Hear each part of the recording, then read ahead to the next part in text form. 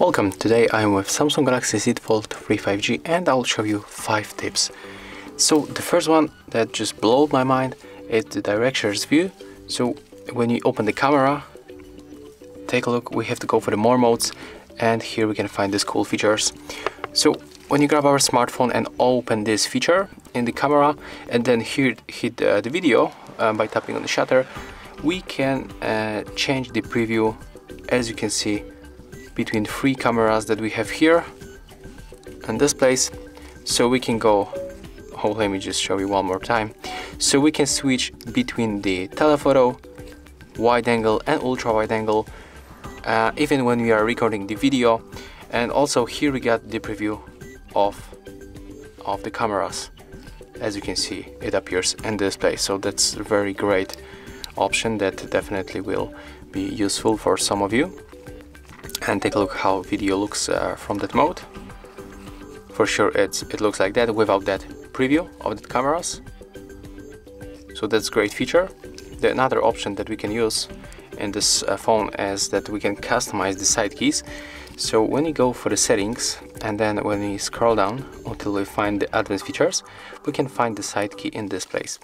And take a look. Uh, normally you have to set up I mean you got the Bixby on the power key. So when you click and hold the power key we are going to wake Bixby to change it for sure just go for the simple power off menu.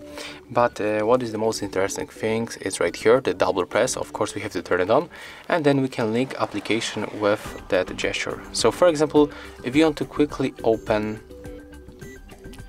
for example Google Maps you can make it by double pressing power key right now.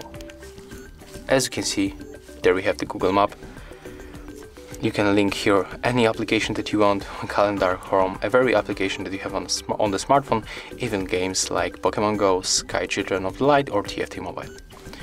So there's the second option. Uh, we are going uh, for the next one. Now we can check how many times we open each app.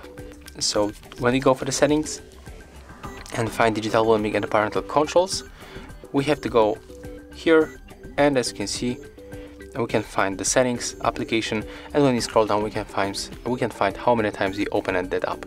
So as you can see today settings were opened 56 times and it's 54 more than yesterday. Here you got the hours. You can also check other days by switching right here. And for sure you can also check other apps. When you tap right here you got other apps that you can check. For example, you can also show um, the times opened on the Play Store. So as you can see, the Play Store was opened uh, four times and two more than yesterday. And the next option that we can use in this smartphone is wireless printing. So uh, we have to go for the connections and then tap on the more connection settings and go for the printing. As you can see in most cases we can use the default print service but it's not working always. So we have to go for the download plugin from the Play Store. And for example we can use the HP print service. For sure you have to download the service from company of your printer. So in this case I'm going to use the HP because that's the printer that we can find in our office. Okay so right now we can open that plugin we have to accept all of this data.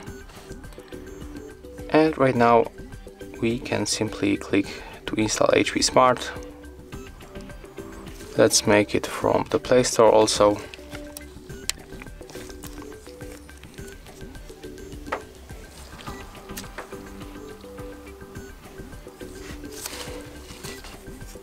Right now we can open that application.